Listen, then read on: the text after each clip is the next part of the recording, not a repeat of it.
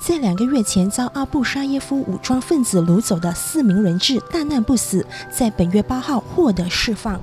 早前为四名人质奔走筹款的家人，在前一晚就接到通知，表示人质会在今早从亚庇返回失乌，因此一大早就守在失乌机场接机，迎接这四名家人的归来。